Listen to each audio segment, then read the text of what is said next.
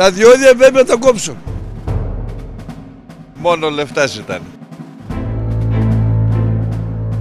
Επιπλέον διόδια θέλουν να τοποθετήσουν στο ύψος του Πολυκάστρου, σε ένα δρόμο που όχι μόνο δεν έχει τα χαρακτηριστικά αυτοκινητόδρομου, αλλά έχει φθαρμένο ασφαλτοτάπητα, δεν φωτίζεται επαρκώς και απαιτεί άμεσα βελτιωτικά έργα. Πρόκειται για το μεγάλο τμήμα από τη Χαλάστρα έως το Πολύκαστρο, πάνω στον άξονα που οδηγεί στους Ευζώνους και τα σύνορα με τα Σκόπια. Όλος αυτός ο κάθετος άξονας συμπεριλαμβάνεται στην παραχώρηση της Εγνατίας Οδού και των κάθετων αξώνων. Διόδια σε αυτόν τον δρόμο δεν είμαστε αντίθετοι να μπουν, αλλά να προσφέρουμε και υπηρεσία, να προσφέρουμε και δρόμο. Το πρόβλημα των διοδίων είναι σοβαρό, καταρχήν για το θέμα της ε, οδού, της κατάστασης του δρόμου.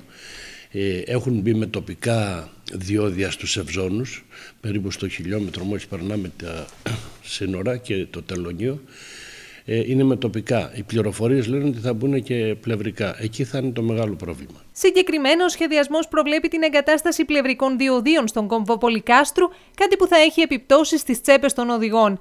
Στην πραγματικότητα είναι ένας επαρχιακός δρόμος για περισσότερα από 40 χιλιόμετρα. Το τμήμα αυτό πρέπει να διαπλατηνθεί ώστε να έχει δύο λωρίδες ανακατεύθυνση κυκλοφορίας με προστατευτική διαχωριστική νησίδα. Πρώτο μας ε, μέλημα είναι Προσωρινά τώρα η βελτίωση, αλλά το ε, πιο κύριο είναι να μπει μέσα στους όρους της σύμβασης που θα υπάρξει ο ανάδοχος σε εύλογο χρονικό διάστημα να μπορεί να επισκευαστεί ο δρόμος. Για το Χαλάστρα Πολύκαστρο, οδικό τμήμα 44,2 χιλιόμετρων, το κονδύλιο που τουλάχιστον προϋπολογιστικά θα απαιτηθεί είναι μεγάλο, άνω των 200 εκατομμυρίων ευρώ. Διαβεβαίωση είναι του κυρίου Σπίρτζη του Υπουργού Μεταφορών και Δικτύων ότι θα πάρουν κάρτα. Ε, τώρα αυτή τη στιγμή εντάξει δεν πολύ ε, υπάρχει πρόβλημα γιατί είναι τα μετοπικά, είναι αυτοί που εισέρχονται και αυτοί που εξέρχονται από την ε, χώρα. Αλλά η παλιά εθνική οδός, αν ε, μπουν τα πρελευρικά θα υπάρχει συμφόρηση στην παλιά εθνική οδό η οποία περνάει μέσα από τα χωριά, περνάει μέσα από την κομμόπολη του Πολυκάστρου. Και εκεί θα έχουμε πρόβλημα. Το δεύτερο ύστερα, αν δεν πάρουν κάρτα, δεν θα μπορεί κάποιος από το Πολύκαστρο θέλει να πάει Θεσσαλονίκη, θα αναγκαστικά θα πληρώσει διόδια. Οι πολίτες εκφράζουν τη δυσαρέσκειά τους για την τοποθέτηση των διοδίων. Πρέπει το κράτος να εισπράξει ορισμένα χρήματα, αλλά πρώτα να κάνουμε υποδομή, να κάνουμε το δρόμο διπλής κατευθύνσεως, όπως προβλέπεται από την Ευρωπαϊκή Ένωση, και μετά να ζητήσουμε λεφτά. Τώρα εδώ κάθε μέρα σκοτώνονται παλικάρια νέα και αυτοί ζητάνε λεφτά να πούμε τα διόδια. Αυτό είναι ανεπίτρεπτο, είναι απαράδεκτο. Πρώτα κάνουμε δρόμους και μετά διόδια. Ξεκάθαρα πράγματα. Όπου και να πάμε πρέπει να πληρώσουμε.